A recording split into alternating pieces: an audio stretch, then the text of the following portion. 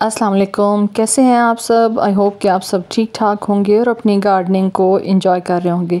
Previous video में मैंने आप लोग के साथ अपनी जो ऑनलाइन शॉपिंग थी, वो शेयर की थी, जिसमें मैंने रेन लिली के हाइब्रिड जो रेन लिली हैं, उनके बल्ब परचेज़ किए थे। तो आज मैं उनको लगाने लगी हूँ। तो थोड़ा सा इस हवाले से भी आप लोगों के साथ जो है मैं बात शेयर करूँगी कि किस तरह की पॉटिंग सॉइल के अंदर, किस तरह के पॉट के अंदर आप रेन लिली को लगा सकते हैं।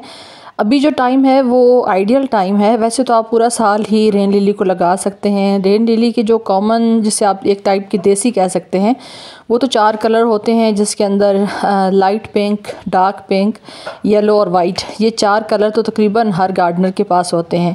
लेकिन ये कुछ स्पेशल जो वेराइटीज़ हैं, ये मैंने परचेज़ की थी। तो अभी इनको यहाँ पे मैं लगाऊँगी भी और लगाने के लिए जो मैंने सॉइल मीडिया यूज़ किया है, वो वेल ड्रेन सैंडी सॉइल के अंदर ये एक आप चीज़ हमेशा याद रखें कि जब आप बल्ब से ग्रो होने वाले प्लांट्स को लगाते हैं तो उनके लिए जो पॉटिंग सॉइल है, उसके अंदर एक अच्छा रेशो जो है वो आपका पत्तों की खाद और साथ साथ सैंड का होना चाहिए। क्योंकि पत्तों की खाद या, और सैंड जो है वो आपकी मट्टी को एक तो सॉफ्ट बनाती है और दूसरा वेल ड्रेन बनाती है। अगर आपके यहाँ की मिट्टी चिकनी है तो कभी भी उस चिकनी मिट्टी के अंदर अपने बल्ब्स वगैरह मत लगाएँ। ये जो पहला बल्ब है, ये मैं आप लोगों के साथ शेयर कर रही हूँ, आप इसका साइज़ देख लें। मुझे एक कमेंट आया हुआ था, हमारे एक भाई हैं इंडिया से तो उन्होंने कहा था कि वो बल्ब का साइज़ देखना चाहते हैं। तो मैंने कहा, चलें, ये मैंने एक वीडियो वैसे भी शेयर करनी है। तो इसमें जो है वो आप लोगों को आइडिया हो जाएगा कि इनका बल्ब जो है वो किस साइज़ का है। तो ये मैं एक लगा रही हूँ इस प्याला नुमा पॉट के अंदर और बाकी दो जो है वो मैं दूसरा में लगाऊँगी। वैसे अगर आप चाहें तो इकट्ठा भी लगा सकते हैं, लेकिन मुझे क्योंकि आगे जो है वो इनको इस तरह से लेके चलना है कि इनकी प्रोपोगेशन अगर हो या ये मल्टीप्लाई हों तो फिर मुझे पता हो कि मैंने किस पॉट के अंदर कौन से वाले वेराइटी लगाई हुई है।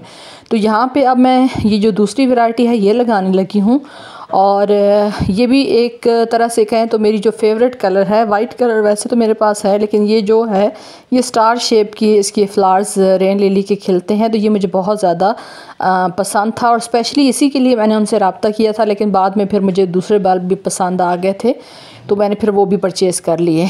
तो ये मैं इसका जो है वो टिशू जो है वो हटा रही हूँ और इसके अंदर से आप इसका साइज़ देख लें, माशाल्लाह से। ये मैंने एक बल्ब परचेज़ किया था, लेकिन साथ दो बेबी बल्ब जो हैं वो मुझे मिले हैं और जो एक मदर बल्ब है, उसमें से भी साइड से एक छोटा सा बेबी जो है वो बन रहा है। तो कुछ टाइम तक ये भी मल्टीप्लाई हो जाएगा। रेन लिली को जैसा कि मैंने आप लोगों के साथ शेयर किया है, साल में पूरा टाइम किसी वक्त भी लगा सकते हैं, लेकिन ख़ास तौर पे जो स्प्रिंग समर का टाइम होता है वो और रेनी सीज़न ये दो टाइम ऐसे होते हैं कि इनमें अगर आप रेन लिली को लगाएँ तो ज़ाहिर है नाम से ही ज़ाहिर है कि इनमें बहुत अच्छी फ्लारिंग भी होगी और बहुत ज़बरदस्त ग्रोथ भी होगी. रेन लिली के जो फोलियज है, मैं उनको कभी भी नहीं रहने देती, क्योंकि फोलियज जो है वो मुझे इतना नहीं चाहिए जितना मुझे एक हेल्दी बल्ब चाहिए.